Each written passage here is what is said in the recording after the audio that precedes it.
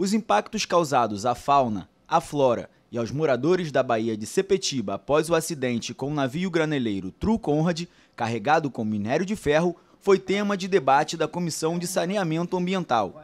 A embarcação de bandeira da Libéria saiu do porto de Itaguaí no dia 10 de maio, com destino a Singapura, no Sudeste Asiático, em uma viagem de aproximadamente 30 dias.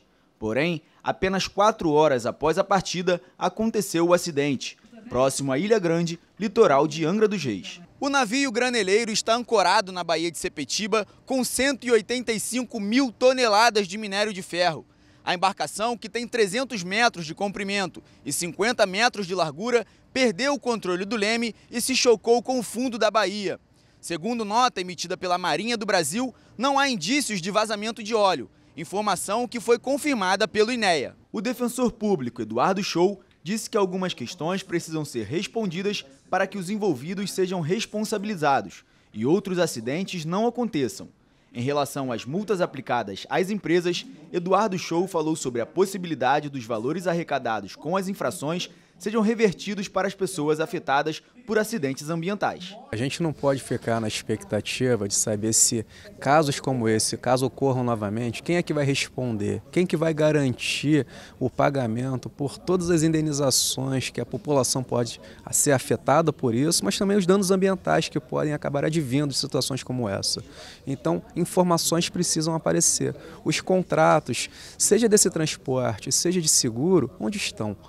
Como é que a gente vai saber se isso tudo está garantido hoje e vai estar tá garantido também no futuro, para que casos como esse, caso venham a ocorrer novamente, a gente tenha a segurança e a tranquilidade de saber que aquela população que foi afetada, sejam aqueles pescadores, aquele comércio local e a fauna marinha, o meio ambiente, isso tudo vai ser compensado de alguma maneira. Porque a gente tem um projeto de lei aqui nessa casa para ser votado, para ser deliberado, que a gente já pleiteou aqui diversas vezes para que a população população afetada pelo dano ambiental seja beneficiada por aquilo.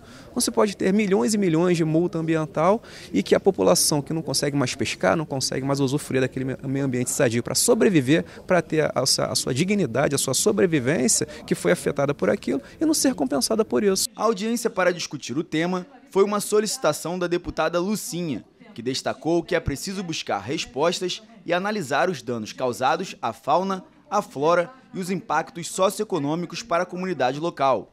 Segundo a parlamentar, no próximo mês a comissão realizará uma vistoria na Baía de Sepetiba e uma nova audiência para debater o assunto. Vai ter uma vistoria semana que vem, que vai ser feita pela INEA. Eu vou estar presente, o defensor público, doutor Eduardo Scholl, também vai estar presente, que a gente possa acompanhar e ver de perto como é que estão tá essas garantias dessas, desses conceitos de reparo que está sendo feito nessa embarcação e quando ela vai sair daqui do Rio de Janeiro, né? Que o destino dela é Singapura. Nós não queremos um, uma embarcação dessa, que já está 48 dias, aqui na Baía de Sepitiba, agora localizada na, na, ali em Angra dos Reis. Nós queremos que ela, ela, o destino dela é Singapura, que ela vá embora, porque 180 mil toneladas de minério dentro da Baía da Ilha Grande é um risco para a gente. Né? De qualquer forma, acaba sendo um risco. Porque a gente não sabe, pode acontecer algum, algum, algum problema climático, uma ventania, alguma coisa assim. Pode acontecer mil casos que a gente não tem como mensurar. Então, a nossa preocupação é que esse minério vá embora. Agora, vamos buscar as responsabilidades e fazer com que o INEA multe a CSN, já que ela não cumpriu que causa na cláusula de licenciamento ambiental.